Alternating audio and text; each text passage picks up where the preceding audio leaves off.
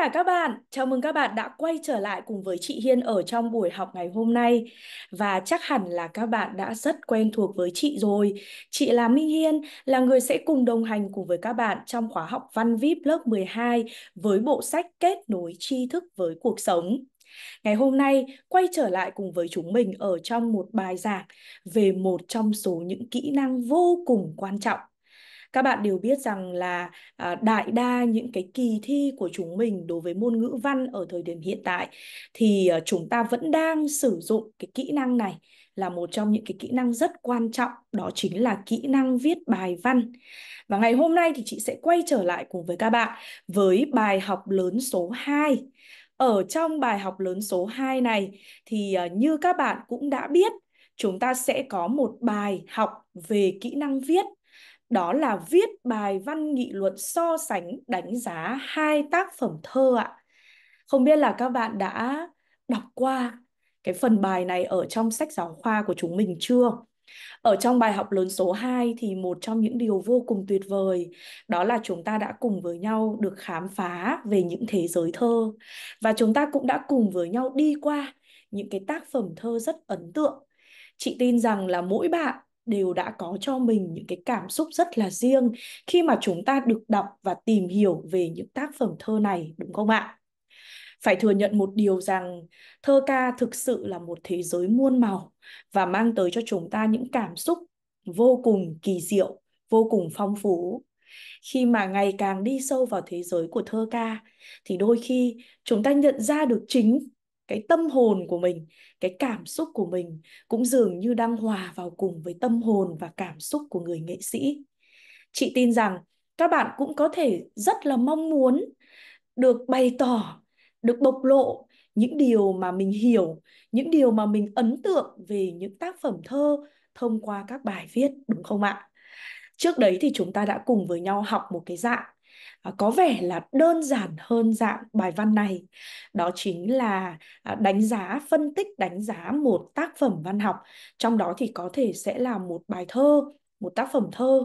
Nhưng mà ngày hôm nay, ở trong phần bài viết này, thì chúng ta sẽ cùng với nhau đi tìm hiểu về một cái dạng đề mới của nghị luận văn học. Thật ra thì nó cũng không hẳn là quá mới đâu ạ.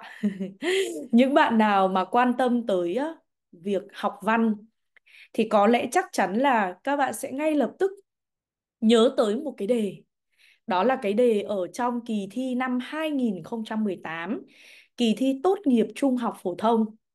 Một cái đề mà năm đó đã khiến cho rất là nhiều các anh chị sinh năm 2000 các bạn bây giờ thì à, nói chung là cũng đã cách khá là nhiều năm rồi nhưng mà ý chị muốn nhắc lại để để nói với các em là gì? Thật ra thì cái dạng đề này không mới chỉ là chúng ta không có gặp nó nhiều nên thành ra là chúng ta cảm thấy mới và có thể chính vì điều đấy mà có rất là nhiều bỡ ngỡ trong cái hành trình mà các bạn học cái đề này học về cái kiểu đề này chăng? Thì năm 2018 á, năm đó là một cái năm mà chính đội ngũ của học văn chị Hiên cũng đã phải ngay lập tức chuyển dịch. Bởi vì là trong đề minh họa thì lại ra vào một cái dạng đề đó là dạng đề so sánh liên hệ. Tức là xuất hiện cả hai tác phẩm ở trong một đề thi. Các em có thể thấy là chị Yên có để một cái đề năm 2018 ở đây để các bạn có thể thấy rồi đúng không ạ? Đó là phân tích sự đối lập giữa vẻ đẹp của hình ảnh chiếc thuyền ngoài xa và cảnh bạo lực gia đình hàng trài trong tác phẩm Chiếc thuyền ngoài xa của Nguyễn Minh Châu. Từ đó, anh chị hãy liên hệ với sự đối lập giữa cảnh phố huyện lúc đêm khuya và hình ảnh đoàn tàu trong tác phẩm Hai đứa trẻ của nhà văn Thạch Lam để nhận xét về cách nhìn hiện thực của hai tác giả. Các bạn có biết không? Nói chung là cứ mỗi khi mà nhắc đến cái đề này á thì uh, chúng ta luôn luôn có một cái cảm giác rằng đó thực sự là một cái nỗi sợ hãi đó thực sự là một cái nỗi sợ hãi đối với các bạn học sinh uh, sinh năm 2000 khi mà tham gia kỳ thi năm 2018 đó ạ. Thật ra thì năm đấy á, khi mà chuyển dịch về đề thì uh, chúng ta có học một cái dạng đề đó là dạng đề so sánh và dạng đề liên hệ thì đây là dạng đề liên hệ. Nhưng mà trong cái thời điểm ôn tập thì các bạn ấy cũng đã được học về dạng đề so sánh rồi nhưng mà sau đấy thì những năm tiếp theo thì ờ, đề thi ờ, tốt nghiệp trung học phổ thông đã quay trở lại với dạng đề phân tích đánh giá ờ, một tác phẩm văn học rồi, chứ không có quay trở lại với dạng đề này nữa. Chắc là vì khó quá chăng và quá ít thời gian để các bạn ấy có thể, gọi là gì ạ, tiếp nhận và quen hơn với dạng đề này. Năm nay thì chúng ta cũng chưa có một cái cấu trúc đề minh họa cụ thể cho kỳ thi tốt nghiệp trung học phổ thông. Thế nhưng mà chúng ta nhìn vào trong cái nội dung cần phải đi tìm hiểu thì cái dạng đề so sánh mà trong đề bài sẽ xuất hiện hai tác phẩm văn học sẽ là một trong những cái dạng đề mà các bạn sẽ thường xuyên phải làm ngay từ trong những bài học đầu tiên, ví dụ như ở buổi trước, thì chúng ta có học về ờ, so sánh đánh giá hai tác phẩm truyện còn đến bây giờ thì chúng ta sẽ cùng với nhau học về so sánh đánh giá hai tác phẩm thơ. Thế nên là về cơ bản là chắc chắn các bạn sẽ cần phải nắm được về cái phương pháp để chúng ta làm dạng đề này. Đừng sợ nhé buổi trước các bạn đã cùng học với chị một cái đề về gì ạ? À, một cái dạng đề về so sánh đánh giá hai tác phẩm truyện rồi mà. Và chị cũng đã thấy là các bạn đã dần dần tiếp nhận cái phương pháp để chúng ta có thể làm được dạng đề đó và các em đã cảm thấy nó bớt khó rồi mà, đúng không ạ? Thế nên là khi chúng ta đến với so sánh đánh giá hai tác phẩm thơ, thì điều đầu tiên chị cũng mong muốn từ các bạn, đó là các em sẽ xác định cho mình một cái tinh thần là đây là một cái dạng bài viết rất là hay. Và khi chúng ta học được cách viết dạng bài viết này, thì chúng ta sẽ thấy là về cái góc độ nhìn nhận những cái tác phẩm thơ của chúng ta sẽ trở nên tốt hơn rất nhiều. Vậy nên chị mong là điều đầu tiên để bước vào bài học ngày hôm nay thì các bạn sẽ chuẩn bị cho mình một cái tâm thế thật là thoải mái, à, thật là hứng khởi và chúng ta sẽ cùng với nhau lăn xả vào bài học. Nếu như trong quá trình mà chị Hiên giảng có điều gì chưa hiểu, các bạn cứ hỏi để chúng ta sẽ cùng với nhau trao đổi. Ok không ạ? Đây sẽ là điều quan trọng nhất trong mỗi buổi học để làm sao cái giá trị cuối cùng mà chị mong muốn, đó là các bạn sẽ cần phải hiểu bài. Và đối với những cái bài viết như thế này, thì điều quan trọng nhất là sau khi các em học xong là các em phải viết được. ok không ạ? Thế thì bây giờ chúng mình sẽ cùng với nhau đến với những cái nội dung mà chúng ta sẽ cùng chia sẻ trong buổi học ngày hôm nay cùng với chị Hiên nha. Chào mừng các bạn đã đến với phần viết ở trong bài học lớn số 2, Những thế giới thơ. Và nội dung chúng mình sẽ cùng đi tìm hiểu tập trung, đó là viết bài văn nghị luận so sánh, đánh giá hai tác phẩm thơ. Đương nhiên rồi, trong bất cứ một bài giảng nào thì chị đều đưa ra cho các bạn những cái yêu cầu cần đạt. Có nghĩa là sau buổi học ngày hôm đó các bạn sẽ cần phải nắm được những nội dung này. Ok chưa ạ?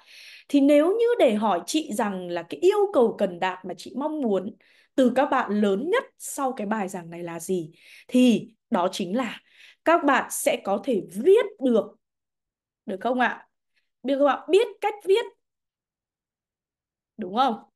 Bài văn nghị luận so sánh đánh giá hai tác phẩm thơ. Đương nhiên rồi, đây sẽ là mục tiêu lớn nhất mà chị hướng đến cho chúng mình. Đúng không ạ? Dù như thế nào thì các bạn cũng phải viết được chứ. Đây sẽ là mục tiêu lớn nhất ạ. Còn nếu như mà bây giờ mà cứ giảng gọi là rất là dài mà các bạn không có biết được cách viết thì cũng sẽ rất là khó. Phải không nào? Cũng không giải quyết được vấn đề gì cả. Nên là cái nội dung trọng tâm nhất của chúng ta sau buổi học này là các em phải biết cách triển khai, biết cách viết cái dạng bài, nghị luận so sánh đánh giá hai tác phẩm thơ. Thật ra thì cũng có một cái điều rất là hay mà chị đã chia sẻ với các em ở buổi học trước rồi. Đó là vào năm 2018 thì học văn chị Hiên cũng đã có những cái chuyển dịch để nghiên cứu về phương pháp viết bài văn nghị luận so sánh đánh giá à, hai tác phẩm và cả dạng đề liên hệ nữa rồi để cho phù hợp với cái cấu trúc đề minh họa của năm đó. Thế nên là cũng rất là may mắn khi mà chương trình phổ thông mới 2018 có đưa cho chúng ta để yêu cầu các bạn sẽ học cái cách viết về bài văn nghị luận so sánh đánh giá hai tác phẩm. Thì chị thấy rằng là đó là một cái điều rất là hay mà chính chị hay là những chị giáo ở trong đội ngũ học văn chị Hiên cũng đang, gọi là gì ạ, dựa vào những cái kinh nghiệm mình đã có trong cái quá trình nghiên cứu về dạng đề này để có thể chia sẻ với các em với mục đích là làm sao các em có thể biết cách triển khai dạng đề này, được không ạ? Viết được, quan trọng là viết được ạ. Năm đó đã giúp cho rất là nhiều anh chị đang học một cái dạng đề đó là phân tích cảm nhận, đánh giá về một tác phẩm. Ngay lập tức chuyển sang một dạng đề mới trong một cái khoảng thời gian mà chỉ có vài tháng thôi ạ. Nhưng mà anh chị cũng đã thay đổi được. Vậy thì không có lý do gì các em các em học ngay từ đầu mà các em lại không làm được. Nên là phải tin tưởng vào bản thân là em sẽ viết được nhá. Rồi, thì đây sẽ là cái yêu cầu lớn nhất. Nhưng mà đương nhiên là trong cái yêu cầu lớn này thì chúng ta cũng sẽ có những cái yêu cầu cần đạt nhỏ. Thì chúng ta sẽ cần đạt được những yêu cầu như sau. Thứ nhất là chúng ta sẽ cần phải giới thiệu ngắn gọn về hai tác phẩm thơ. Được không ạ? Nêu được những cơ sở lựa chọn. Đó. Gì ạ? À, hai tác phẩm để so sánh đánh giá. Thật ra thì cái này các bạn sẽ thấy là nó giống như là cái yêu cầu ở trong phần mở bài ấy đúng không ạ? Nó sẽ giống như cái yêu cầu chúng ta cần phải đạt được ở trong phần mở bài nha. Sau đó các em sẽ cần phải làm sáng tỏ những điểm tương đồng và khác biệt giữa hai bài thơ được chọn để so sánh được không ạ? Và đương nhiên rồi, chúng ta sẽ cần phải có bằng chứng cụ thể có bằng chứng cụ thể đa dạng từ hai tác phẩm. Được không ạ? Bằng chứng cụ thể đa dạng từ hai tác phẩm. Thì cái này nó sẽ giống như là phần thân bài ạ. Nhà một ý ở trong phần thân bài ạ. Ok chưa? Sau đó phải đưa ra những nhận xét, đánh giá, thuyết phục. Được không nào? Về ý nghĩa và những đóng góp về ý nghĩa và những đóng góp riêng. Được không nào? Những gì ạ? Ý nghĩa và những đóng góp riêng. Của gì? À, đặc sắc. Những cái điều đặc sắc của tác phẩm. Dựa trên nội dung được so sánh. Ok chưa ạ? Và cuối cùng chúng ta cũng sẽ cần phải nêu khái quát kết quả. Nêu khái quát kết quả. Được không nào? Và ý nghĩa. Và ý nghĩa của việc so sánh. Đánh giá. Ok chưa ạ? Thì ở đây các bạn sẽ thấy là về cơ bản là những cái yêu cầu này á, các em sẽ thấy là ở trong sách giáo khoa chúng ta có ngay cái phần yêu cầu đầu tiên.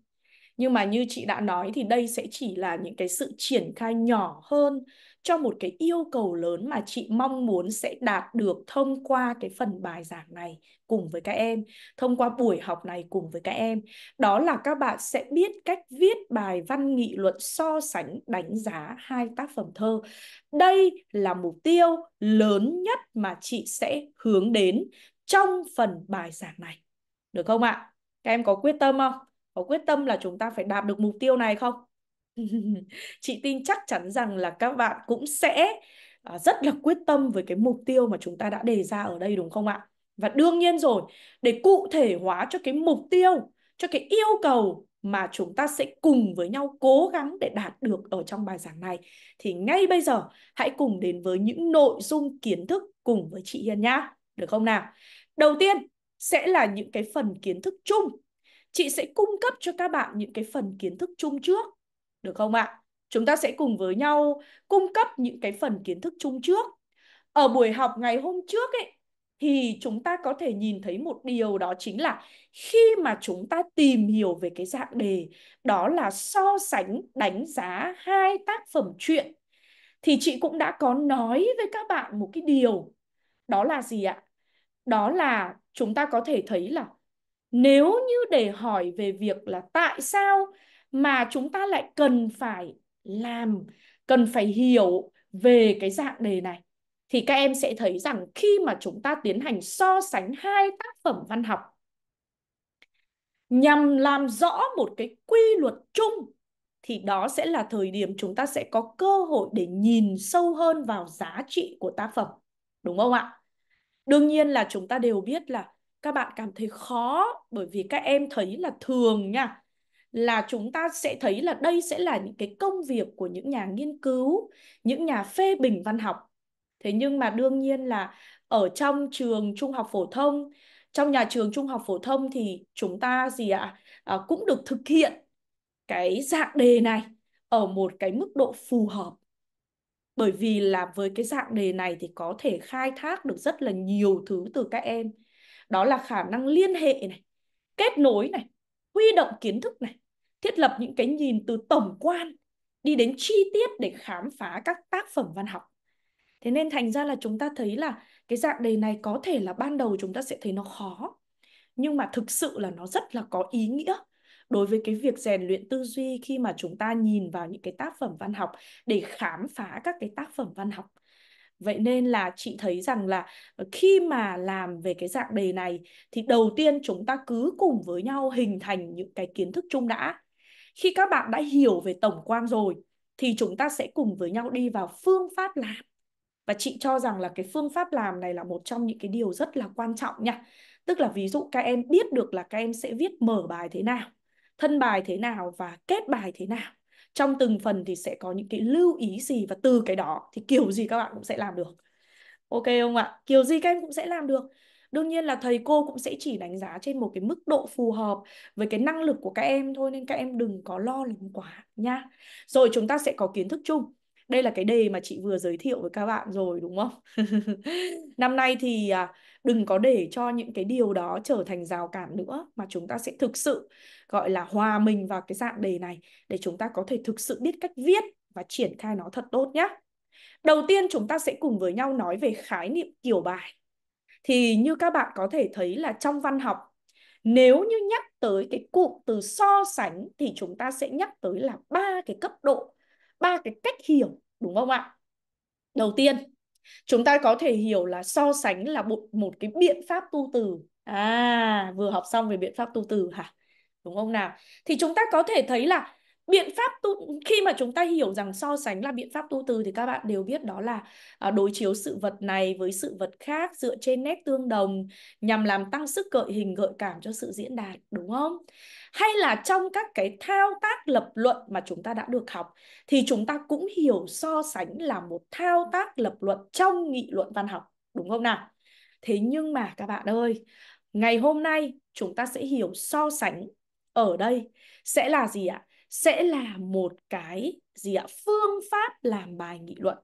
Hay nói cách khác, nó sẽ là một dạng đề nghị luận văn học. Mà ở cái dạng đề này thì chúng ta sẽ gì ạ tìm ra cái sự giống và khác nhau, đúng không ạ nhưng mà cái giống và khác nhau ở đây, cái đối tượng hướng đến nha, thì sẽ là sự giống và khác nhau trong nội dung, trong nghệ thuật của tác phẩm hay nói cách khác là trong những cái khía cạnh của một tác phẩm, được không ạ? Và chúng ta sẽ thấy được rằng là từ đó để chúng ta chỉ ra những cái nét riêng và những nét độc đáo.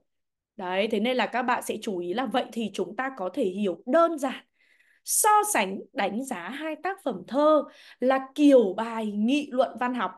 Được không ạ? Nhớ nhá, là kiểu bài nghị luận văn học mà ở đây thì chúng ta sẽ cần phải chỉ ra được những điểm tương đồng và khác biệt của đối tượng so sánh. Cụ thể sẽ là những bài thơ. Có thể là người ta sẽ không yêu cầu là phải cả bài thơ đâu, mà người ta sẽ chỉ cho hai đoạn thơ trong hai bài thơ khác nhau thôi, cũng được nha. Được không ạ? Từ đó nêu những giá trị đặc sắc, nêu được những giá trị đặc sắc và các yếu tố cách tân đóng góp mới mẻ của từng tác giả. Được không ạ? Thì đây sẽ là kiểu bài các em nắm được chưa? Rất đơn giản đúng không? Tức là các em hiểu được rằng là cái quan trọng nhất của dạng đề này là tôi phải chỉ ra được điểm tương đồng và điểm khác biệt. Khi tôi chỉ ra được điểm khác biệt thì tôi sẽ phải lựa chọn các cái phương diện so sánh. Và từ việc tôi so sánh đó, tôi sẽ chỉ ra được những cái điều đặc sắc. hoặc là những cái sự kế thừa, những cái cách tân, những cái đóng góp mới mẻ của từng tác giả. Chúng mình hiểu không ạ? À, rất đơn giản đúng không? Chị nghĩ là về kiểu bài này thì chưa có vấn đề gì cả.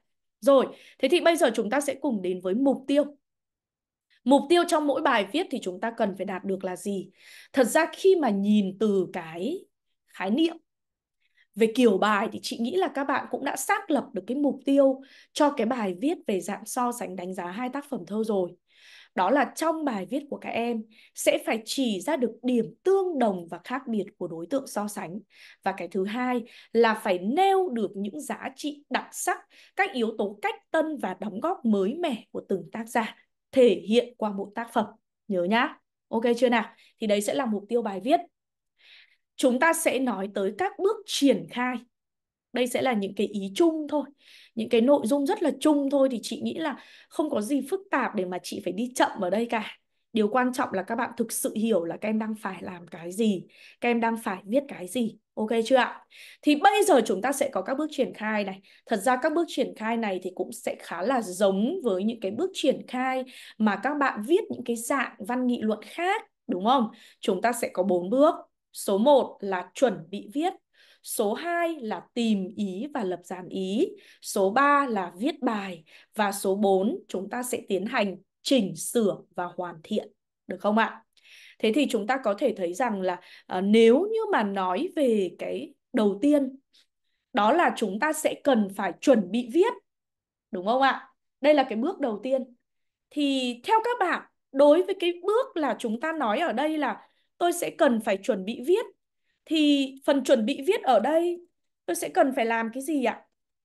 À, nếu như đối với cái dạng đây là so sánh, nếu đối với cái dạng đây là so sánh đánh giá hai văn bản thơ, hai tác phẩm thơ, thì theo các bạn là chúng ta sẽ cần phải chuẩn bị được cái gì? À, ở trong cái chuẩn bị viết này thì à, các bạn sẽ có thể thấy được rằng là đầu tiên là chúng ta sẽ cần phải đọc đề cái đã khi mà các em đọc đề thì các bạn sẽ xác định được những cái cơ sở triển khai để tiến hành so sánh. Đúng không? Chị nghĩ cái này rất quan trọng nha. Cái này rất quan trọng ạ. Đó là chúng ta cần xác định được. Cần xác định được cơ sở triển khai các nội dung so sánh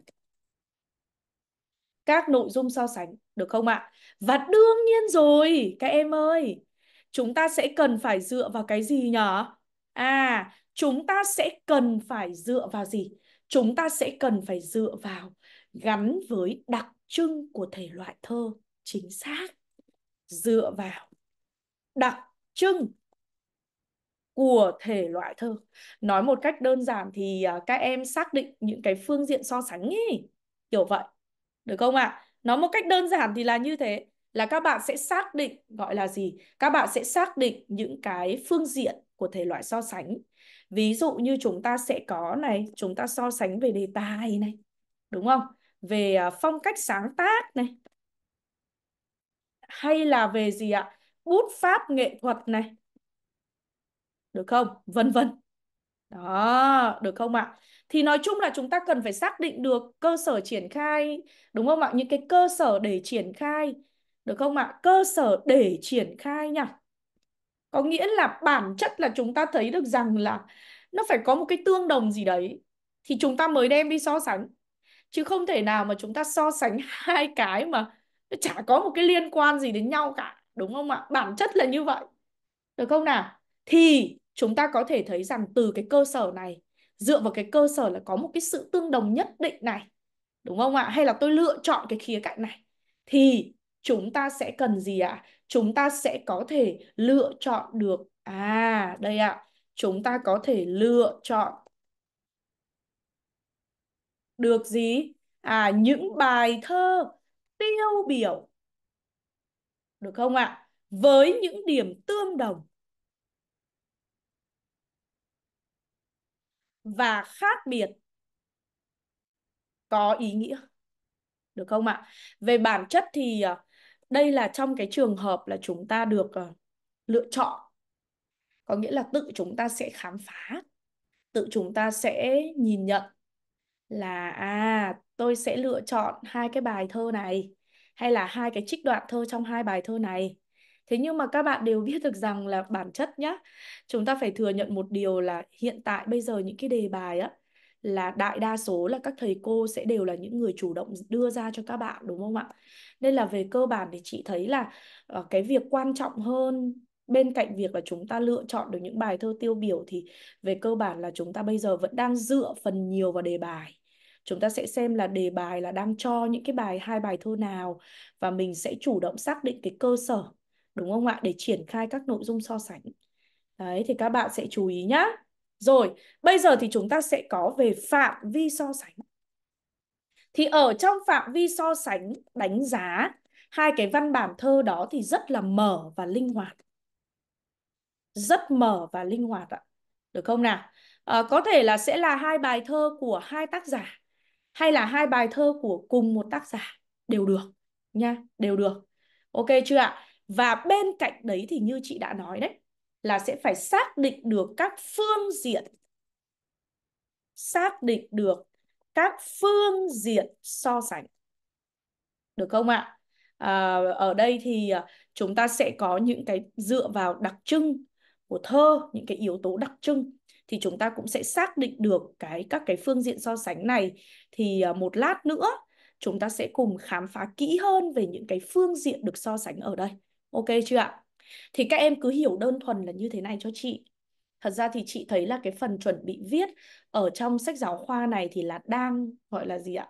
Trong một cái tâm thế là chủ động để các em tự khám phá ấy.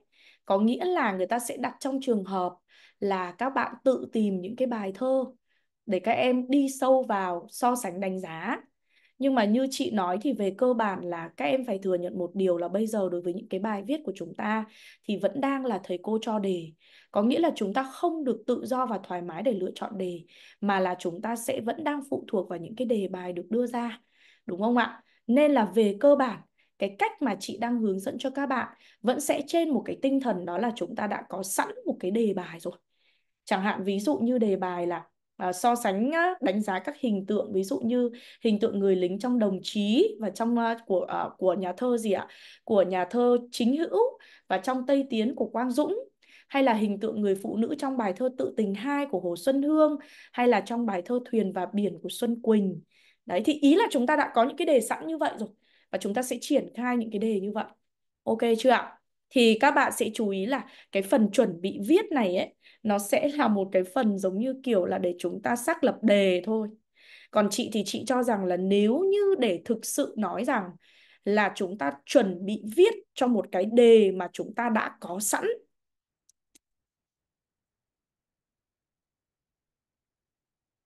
được không ạ? Thì chúng ta sẽ cần phải chuẩn bị cái gì? Có lẽ đây cũng sẽ là một cái câu hỏi mà các bạn sẽ hỏi rất nhiều. Chúng ta sẽ cần chuẩn bị những cái gì cho một cái đề mà đã có sẵn đây? À, cho một cái đề đã có sẵn, ví dụ như những cái đề mà chị vừa đọc cùng với chúng mình ấy. Thì đấy chính là những cái đề đã có sẵn đấy. À, thứ nhất, các bạn sẽ cần phải có một cái sự tìm hiểu về hai cái bài thơ đó trước. Đúng không? Tức là chúng ta cần chuẩn bị kiến thức về hai bài thơ mà đã xuất hiện trong đề. Những kiến thức chúng ta cần tìm hiểu sẽ bao gồm Thứ nhất, đó là về tác giả, về hoàn cảnh sáng tác. Được không ạ? Và về việc chúng ta sẽ phân tích đánh giá được các tác phẩm đó dựa trên những đặc trưng thơ hay nói cách khác là nội dung và nghệ thuật của tác phẩm.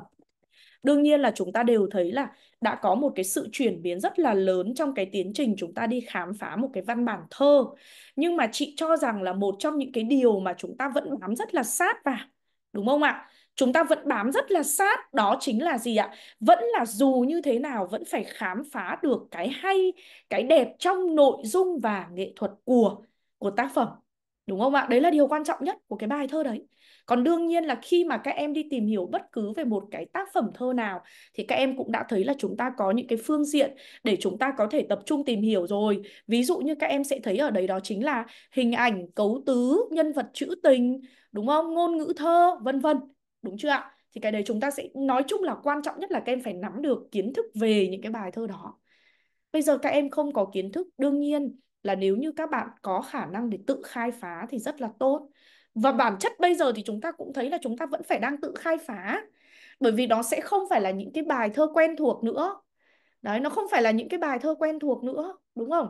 Tức là ngay mà khi đọc đề xong là các em đã phải hình thành trong đầu mình được những cái yếu tố này rồi các em có sự hiểu biết gì về tác giả không? Về hoàn cảnh sáng tác không? Về nội dung và nghệ thuật của tác phẩm không? Đại đa thì bây giờ như chị thấy là trong đề mà đối với những cái văn bản mà không xuất hiện trong sách giáo khoa giống như xu hướng mà chúng ta đang học thì sẽ được cung cấp thêm một chút thông tin về tác giả và có thể là hoàn cảnh ra đời của tác phẩm ở trong đề để các bạn tiện cho cái việc phân tích và tư duy đấy, đúng không ạ? Thì ở đây các em sẽ chú ý là chúng ta phải hình thành được những cái này. Trước nhá được không ạ chuẩn bị sẵn trong đầu chưa Đấy, tư duy trong đầu trước để một lát nữa là trong cái quá trình tìm ý và lập dàn ý là mình sẽ bắt đầu là triển khai. Ok chưa ạ? Thứ hai, có lẽ là các bạn cũng sẽ rất băn khoăn là tại sao chúng ta lại cần phải có thông tin về tác giả và hoàn cảnh sáng tác thì bản chất nó sẽ liên quan đến cấu trúc bài viết ạ. Một lát nữa sẽ có một số những cái bước mà yêu cầu chúng ta cần phải trình bày những thông tin khái quát về hai tác phẩm. Ví dụ như là hoàn cảnh ra đời, về chủ đề. Và nếu như chúng ta có thông tin về tác giả thì đó cũng là một cái rất là tốt nha. Để chúng ta làm gì? Bởi vì sẽ có một cái ý đó là chúng ta cần phải lý giải được về sự tương đồng và khác biệt.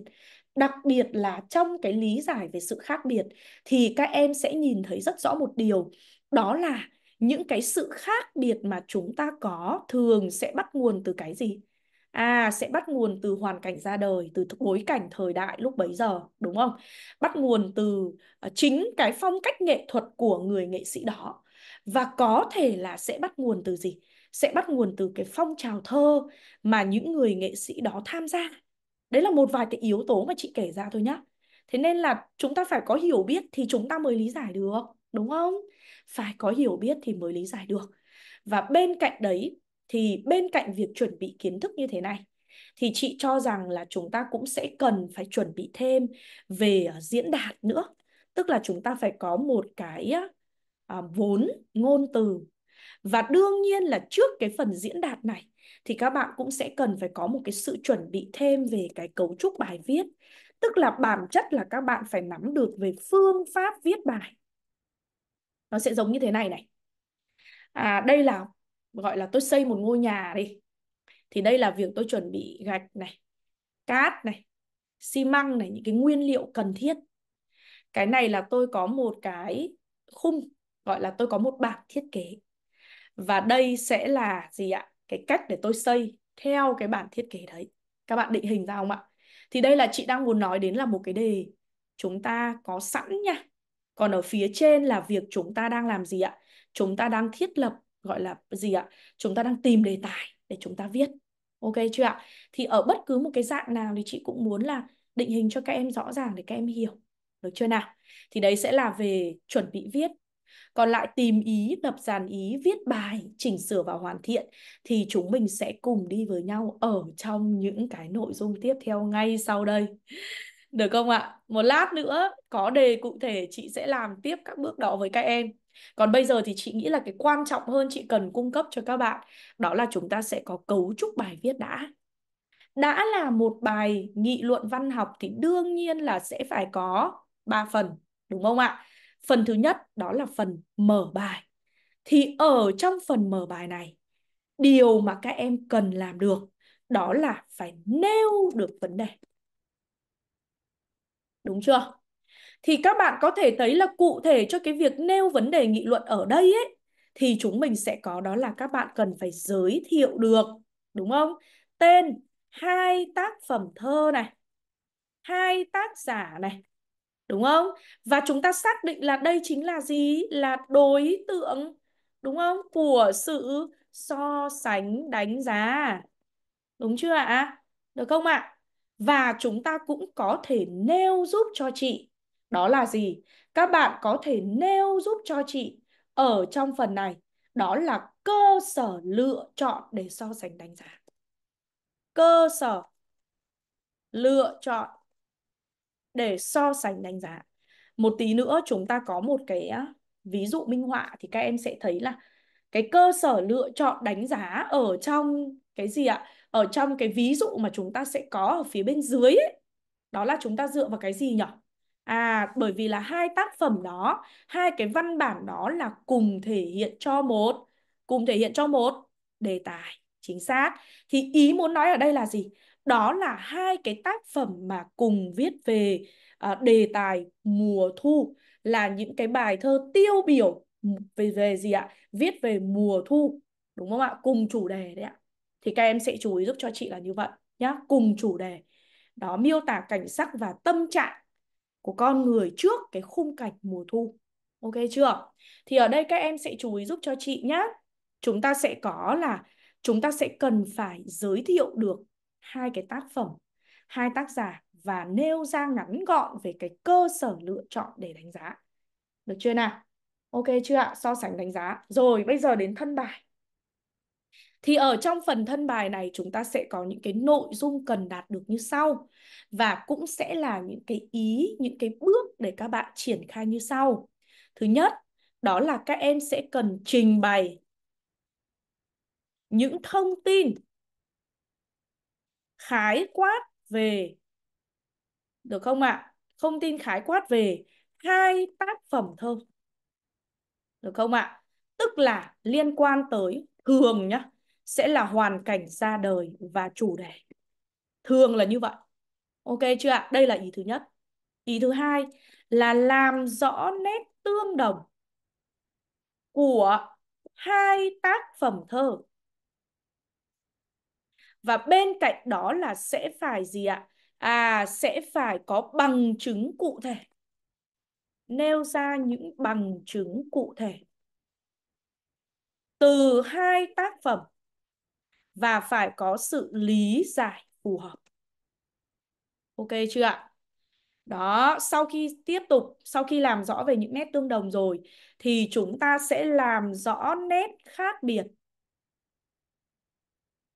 của hai tác phẩm thơ. Và đương nhiên, cũng phải có bằng chứng cụ thể từ hai tác phẩm và phải có được sự lý giải phù hợp. Được không ạ? Rất là đơn giản, chúng ta thấy là nếu mà để nói về các ý thì rất là đơn giản. Đúng chưa ạ? Nhưng mà cái quan trọng nhất là cái quan trọng nhất là chúng ta sẽ gọi là gì ạ? Triển khai như thế nào cụ thể đối với từng bài viết thôi. Đúng chưa? Thì ở đây các bạn sẽ thấy là lưu ý này. Khi mà chúng ta làm cái bước 2 và bước 3 này, tức là hai cái bước này nha. Thì các em sẽ lưu ý giúp cho chị như sau.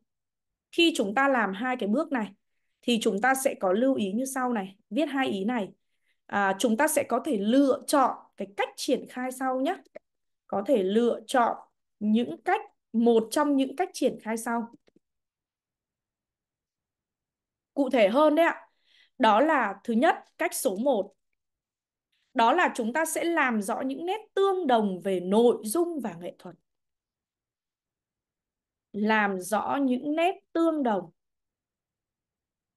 về nội dung và nghệ thuật. Được không ạ? Sau đó, các bạn sẽ tiến hành làm gì? Sau đó, các em sẽ tiến hành lý giải sự tương đồng. Tại sao có sự tương đồng đó? Tại sao có sự tương đồng đó? Và ý nghĩa. Ok chưa ạ? Sau đó, các bạn sẽ tiến hành làm rõ nét khác biệt về nội dung và nghệ thuật. Làm rõ những nét khác biệt về nội dung và nghệ thuật. Sau đó cũng sẽ đi lý giải tại sao có sự khác biệt. Đúng không? Tại sao có sự khác biệt? Được không? Và ý nghĩa của cái sự khác biệt đó. Được chưa ạ? Đây là cách số 1 nhé. Hoặc là cách số 2, các bạn có thể triển khai theo một cái hướng khác. Đó là các em sẽ làm rõ những nét tương đồng. những nét tương đồng. Sau đó làm rõ những nét khác biệt. Sau đấy thì mình mới tiến hành đó là lý giải nguyên nhân dẫn đến sự tương đồng và khác biệt. À, ok chưa ạ? Được không nào? Thì cách nào cũng được. nhá cách nào cũng được đối với triển khai cái ý số 2 và ý số 3 thì các bạn làm cách nào cũng được nhá ok chưa nào cách một cũng được mà cách hai cũng được chú ý giúp chị là như vậy được chưa sau đấy thì các bạn sẽ tiến hành đó chính là chúng ta sẽ tiến hành làm bước số 4 đó là chúng ta đánh giá chung.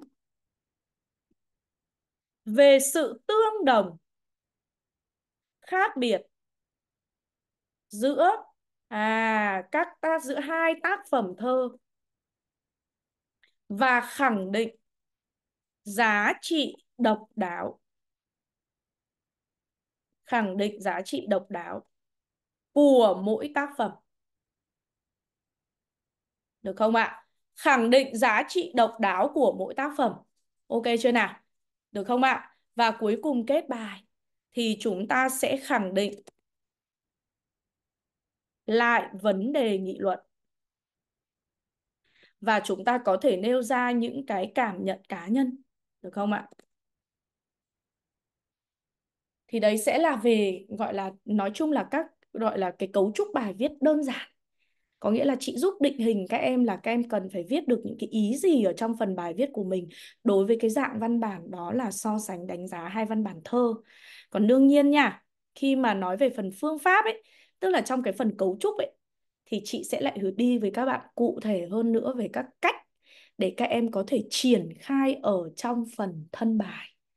Bởi vì chúng ta thấy rằng là phần thân bài đối với cái dạng đề này sẽ có một vài cách làm khác nhau nhé còn như chị nói ở đây là, như chị nói là đây sẽ là các bước, được không ạ? Đây sẽ là các bước, sẽ là một cái quy trình viết cụ thể nha. Đây sẽ là cái quy trình viết cụ thể, được chưa nào? Còn chúng ta có thể thấy rằng là phần thân bài của kiểu bài này thì sẽ có nhiều cách trình bày, nội dung so sánh đánh giá. Và người viết thì sẽ cần phải linh hoạt lựa chọn cách trình bày phù hợp với hiểu biết và hứng thú của bản thân. Và điều này thì sẽ góp phần quan trọng vào thành công của bài viết. Và có thể triển khai các cái nội dung so sánh đánh giá theo các cách sau. Thì cụ thể là các cách như thế nào? Tức là cái ý nhỏ hơn của cái này nữa này. Nó sẽ làm như thế nào? Thì ở trong phần phương pháp chị mới nói được còn đây là theo tiến trình là các bạn cứ định hình là cấu trúc bài viết là về quy trình viết cụ thể là mình sẽ cần phải có 3 phần mở bài thân bài kết bài và trong mở bài thân bài kết bài là mình sẽ phải ít nhất là nắm được những cái ý như thế này. Ok chưa ạ? Các bạn ơi, các bạn có nắm được không ạ? Chúng mình có nắm được không ạ? Nhá, chú ý giúp chị nhá. Và ở trong sách giáo khoa thì các em cũng đã có một cái ví dụ Vậy là ở trên chị đã cung cấp cho các bạn những cái kiến thức rất là cơ bản nhé. Đó là những cái kiến thức chung trước về kiểu bài này, về mục tiêu này, về các bước triển khai này. Và bên cạnh đấy là về cái quy trình viết cụ thể, về cái cấu trúc bài viết cụ thể. Ok chưa ạ? Còn bây giờ thì chúng ta sẽ cùng với nhau đến với phân tích ví dụ. Các bạn thấy là trong sách giáo khoa thì chúng ta có một cái phần ví dụ. Đúng không ạ? Đây để chị trình chiếu nhé. Trong sách giáo khoa thì chúng ta có một cái phần ví dụ. Đây. Đây chính là phần ví dụ. Đây ạ. À, bài viết tham khảo. Cảm hứng mùa thu trong thu vịnh và đây mùa thu tới. Thế thì ở đây chúng ta có hai bài thơ rất là nổi tiếng. Đầu tiên đó chính là gì ạ? Đầu tiên đó chính là bài thơ Thu Vịnh. Và thứ hai là bài thơ Đây mùa thu tới đúng không? Thế thì ngay trong đầu các bạn bây giờ các bạn cũng xác lập được luôn là nếu như mà mình muốn làm được cái đề này thì bây giờ mình sẽ cần phải có hiểu biết cơ bản về tác giả Nguyễn Khuyến, về hoàn cảnh ra đời của bài thơ Thu Vịnh. Bên cạnh đó là nhà thơ Xuân Diệu, đúng không? Với gì ạ? Hoàn cảnh ra đời của đây mùa thu tới. Đúng không? Thì ở đây chúng ta có bài thơ Thu Vịnh này.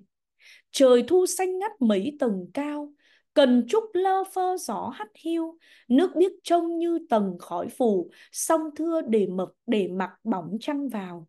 Mấy chùm trước dậu hoa năm ngoái, một tiếng trên không ngỗng nước nào, nhân hứng cũng vừa toan cất bút, nghĩ ra lại thẹn với ông đào. Hay là đây mùa thu tới, à, một tác giả à, gì ạ mới nhất trong các nhà thơ mới đúng không? Một nhà thơ rất nổi tiếng của phong trào thơ mới, đó là nhà thơ Xuân Diệu, ông hoàng thơ tình Việt Nam, đúng không ạ? Dặng liễu điều hưu đứng chịu tang, tóc buồn buông xuống lệ ngàn hàng. Đây mùa thu tới, mùa thu tới, với áo mơ phai dệt lá vàng. Hơn một loài hoa đã rụng cành, trong vườn sắc đỏ rũa màu xanh, những luồng run rẩy rung rinh lá, đôi nhánh khô gầy xương mỏng manh. Thỉnh thoảng nàng trăng tự ngẩn ngơ, non xa khởi sự nhạt sương mờ, đã nghe rét mướt luồn trong gió, đã vắng người sang những chuyến đò. Mây vẩn từng không chim bay đi, khí trời u uất hận chia ly, ít nhiều thiếu nữ buồn không nói, tựa cửa nhìn xa, nghĩ ngợi gì. Các bạn ơi, chúng ta có thể thấy được rằng là đây là hai bài thơ cùng viết về một cái chủ đề, đó là mùa thu, đúng không ạ? Đều là những bài thơ tiêu biểu về mùa thu. Thu Vịnh là tác giả gì ạ? Là tác phẩm tiêu biểu của Nguyễn Khuyến. Đây mùa thu tới là tác phẩm tiêu biểu của Xuân Diệu, đúng không nào? Thì chúng ta có thể thấy được đấy là cái cơ sở chung mà các bạn nhìn thấy rồi. Và khi mà chúng ta nhìn vào bài viết tham khảo này thì các em cũng sẽ thấy là gì đây? Chúng ta có này, ở xứ Bắc, mùa thu vẫn được coi là mùa đẹp nhất trong năm và đã trở thành cảm hứng bất tận của nhà thơ từ xưa đến nay. Mỗi bài thơ viết về mùa thu đều đem đến cho người đọc những cảm nhận vẻ đẹp bức tranh thu, cùng những sắc điệu riêng của tâm hồn thi nhân được thể hiện trong cảnh thu tình thu. Nói đến những thi phẩm về mùa thu, phải kể đến hai bài thơ nổi tiếng của hai nhà thơ lớn là Thu Vịnh của Nguyễn Khuyến và Đây mùa thu tới của Xuân Diệu. Ở đó, mỗi nhà thơ đã gửi gắm những cảm nhận và nỗi niềm, vừa có sự gặp gỡ, vừa có đặc điểm, vừa có điểm đặc sắc hấp dẫn riêng. Vậy là chúng ta có thể thấy rằng ở trong cái phần mở bài này, tác giả đã nêu ra được gì ạ? Tác giả đã giới thiệu được hai bài thơ, hai tác giả và nêu ra được định hướng để so sánh. Đúng không ạ? Phải không nào? Đúng không ạ? Thì ở đây chúng ta có thể thấy là khi mà chúng ta tìm hiểu cái văn bản này thì sẽ có cái có cái gì ạ? Sẽ có cái câu hỏi số 1. Đó là trong bài viết thì tác giả đã dựa trên những cơ sở nào khi lựa chọn hai bài thơ này để so sánh. Thì các bạn có thể thấy được ở đây là gì nhỉ? Cơ sở để để so sánh ở đây là gì? Đó là thứ nhất, đều là những cái bài thơ tiêu biểu viết về mùa thu. Được chưa? Thứ hai là cùng chủ đề miêu tả cảnh sắc và tâm trạng bước vào gì ạ? Tâm trạng trước mùa thu, đúng không? Ở đây chúng ta có thể thấy viết rất là rõ này. Phải không ạ? Đó chính là gì? Phải kể đến này, ở đó này.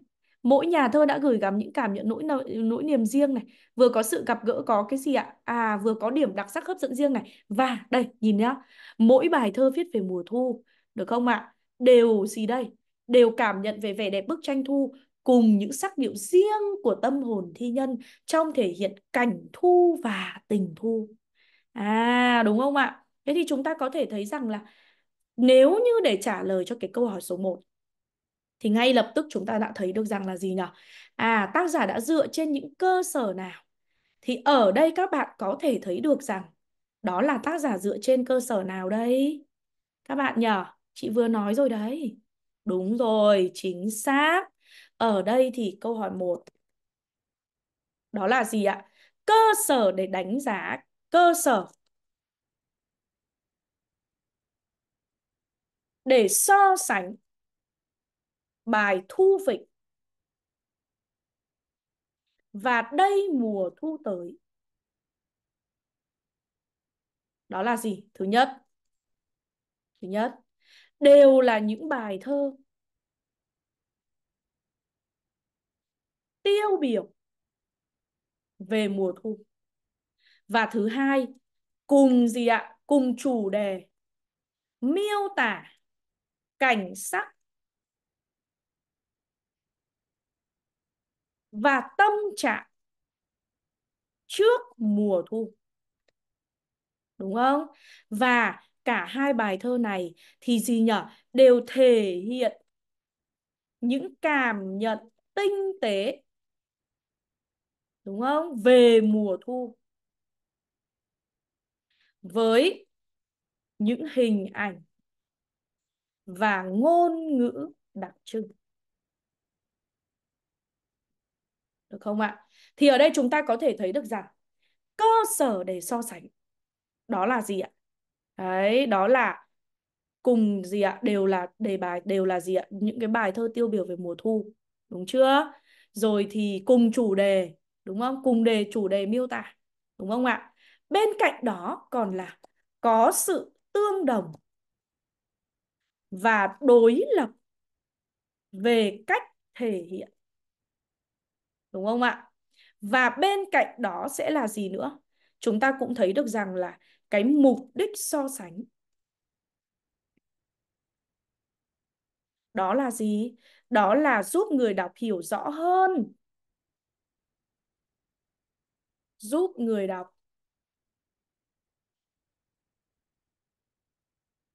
hiểu rõ hơn về nội dung của hai bài thơ này và làm nổi bật những cái nét riêng của từng tác phẩm.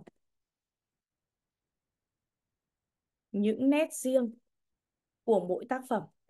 Và bên cạnh đó nhá, thông qua việc so sánh này thì chúng ta cũng thấy được rằng là gì ạ? Chúng ta thấy được cái sự phát triển của thi ca Việt Nam qua hai thời kỳ khác nhau.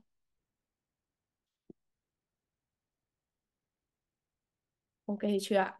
Thì ở đây các bạn sẽ thấy là chúng ta có thể thấy được rằng là khi mà chúng ta tiến hành phân tích cái phần bài viết tham khảo này với cái việc là các bạn đọc cái phần bài viết tham khảo. Và chúng ta thấy được là đối với cái câu đầu tiên đó là trong bài viết tác giả đã dựa trên những cơ sở nào để chọn hai bài thơ so sánh và đánh giá. Thì ở đây chúng ta có thể thấy được đấy ạ, đúng không nào? Chúng ta có thể thấy được rất là rõ về những cái nội dung mà chị vừa đưa ra ở đây. Ok chưa ạ? Tiếp theo là chúng ta sẽ có bài viết triển khai các nội dung so sánh đánh giá như thế nào và bạn có nhận xét gì về hiệu quả của cách triển khai đó. Và câu số 3 sẽ là theo bạn có thể có những cách trình bày nào khác về so sánh đánh giá trong bài viết hay không? Thì bản chất là cái từ cái ví dụ này ạ, chúng ta sẽ có được một cái điều mà chị nghĩ là cái điều này là cái điều vô cùng quan trọng. Đó là các em sẽ có thể chủ động nêu ra được gì ạ? Các bạn sẽ chủ động nêu ra được, các bạn sẽ thiết lập được cái quan trọng nhá đó chính là chúng ta sẽ có dàn ý các em ạ. Một cái dàn ý rất là cụ thể để các em viết được. Và chúng ta sẽ có những cái cách, thật ra thì nó chỉ khác nhau ở trong phần chúng ta triển khai phần thân bài thôi. Đấy, chỉ khác nhau ở trong phần triển khai thân bài thôi. Thì ở đây các em sẽ chú ý là đối với cái câu hỏi số 2 này thì yêu cầu là chúng ta sẽ phải đọc toàn bộ văn bản thì chúng ta mới trả lời được. Toàn bộ cái văn bản được đưa ra ở đây ạ. Thì chúng ta mới có thể trả lời được các em nhé. Được không nào? Bởi vì là câu hỏi được đưa ra đó chính là gì? Đó là chúng ta sẽ cần phải gì ạ? À, câu hỏi được đưa ra ở đây. Đó chính là chúng ta sẽ cần phải gì ạ? Chúng ta sẽ cần phải uh, dựa vào những cái gì? Chúng ta sẽ cần phải dựa vào những cái ý được thể hiện ở trong bài viết này để chúng ta đưa ra được câu trả lời mà. Tức là các em phải đọc toàn bộ ấy đọc toàn bộ cái văn bản này ấy nhá. Thì uh, có lẽ là chúng mình sẽ cùng với nhau tìm hiểu sâu hơn.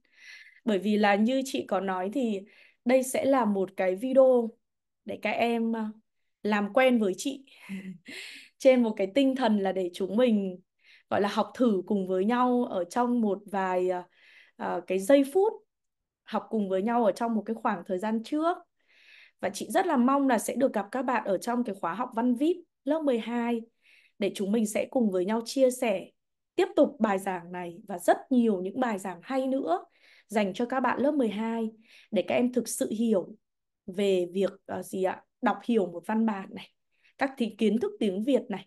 Và đặc biệt các em cũng biết được rằng là một trong những cái điều vô cùng quan trọng đó là chúng ta cần phải viết được đúng không ạ? Bởi vì bây giờ đi thi thì cái quan trọng nhất vẫn là việc chúng ta phải viết được. Thật ra chị đã chuẩn bị nhiều hơn thế cho phần bài giảng ngày hôm nay như các em có thể thấy ở đây.